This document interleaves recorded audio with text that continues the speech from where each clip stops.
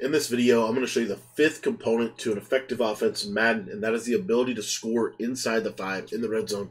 The ability to turn uh, red zone trips into touchdowns as opposed to having to settle for field goals. Now, we're going to be in the Jets offensive playbook today. We're going to take a look at the tight Y off formation. We've been doing a little mini series on this over the past couple videos. If you want to get access to my entire Jets tight Y off offensive ebook, everything is i actually dropped a full ebook on this in my patreon page it's got a ton of advanced setups for the tight y off formation as well as an entire little mini scheme in the red zone i think is one of the best red zone schemes in the game so if you want to get that you can get access to all of my ebooks all of my updates by joining the patreon the link's going to be in the description down below all right, guys, so one of the things that I wanted to do in this video is show you one of the big keys to great red zone offense. Really, there's a couple of things. You've got to be able to pass inside the five. I think you really do. I think you have to have some kind of what is your plan to pass inside the five yard line, that, that you have to have something.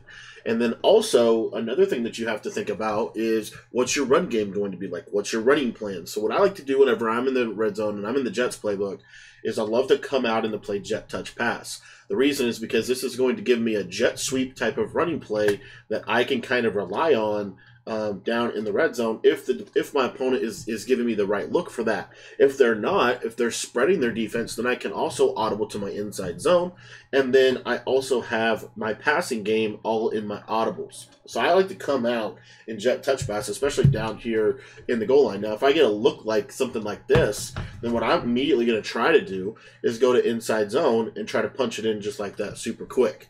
Okay, because this inside zone in particular, I think it's actually fairly difficult to shoot this inside zone. Um, and you can cut it back if you want to. So you can cut it to the left, you can cut it to the right, and have some success that way. Now, another thing that's going to happen is as that, that as that happens, if you start to see that they're pinching their line or they're over pursuing to stop inside zone, now we're going to go to jet touch pass because we're only going to get a couple yards. So having these little quick run game options down here in the red zone, I think is actually super helpful. Another thing we can do is in this formation is another reason why I think the Jets playbook is really valuable. It has gun tight where you have quick base, so I can make one audible to quick base and have a chance to run a little bit more of a power style run down on the on the five.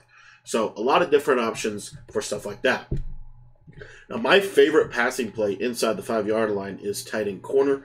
Um, this is this is one of the main reasons why I think the Jets playbook is actually super valuable. So, how we're going to set this up is we're going to take the running back and we're going to put him on a wheel route. We're going to take the tight end and we are going to put him on a post route. And then we're going to take Steve Smith right here. And I like to either put him on an out route or put him on a flat route. So, you see here, this is what the player looks like. And then our first read is this route to CeeDee Lamb. If he beats his man, and the way you're going to know that is if he lights up. If he lights up, that shows that he's going to beat his man. Then I'm going to try to I'm going to try to hit CeeDee Lamb.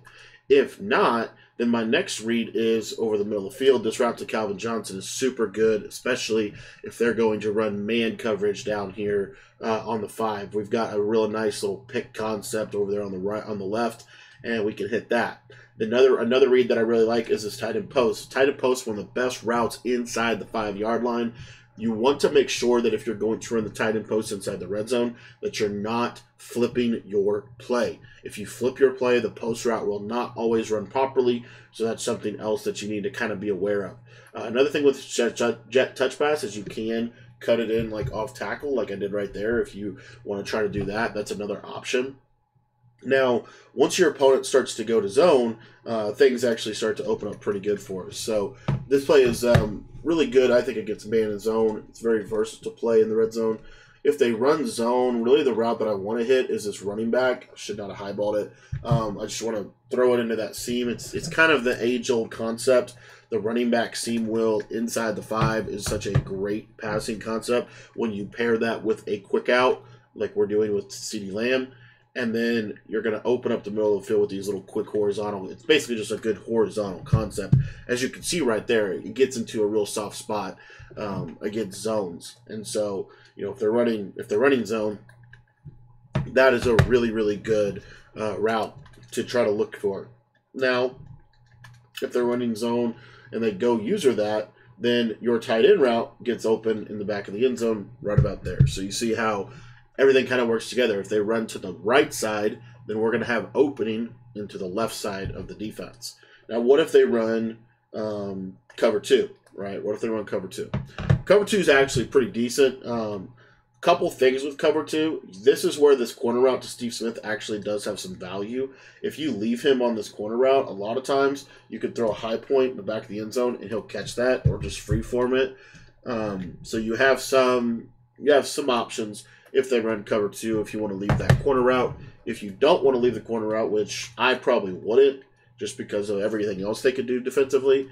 Now we're looking at this back to the run. The route to the running back is still pretty good if you throw it immediately and you hit him and get him into the end zone. And then if that's not there, then what you want to look for is, of course, your tight end route or coming over the middle. So here's a tight end route. Kind of sneak that right in there, just like that. And another thing that you can do, um, because what's going to happen is they're going to use your, your tight end, okay? Uh, so in this example here, they're going to maybe have someone manned up on the running back and they're going to use your tight end and it's going to leave a big void in the middle of the field. So if I'm in tight end corner, this is the main purpose for this route to call or uh, to Calvin. You get that right there coming back across your face and trying it's a little soft spot of the defense. Red zone offense is all about finding the soft spots of the defense. You don't want to have to pass it here.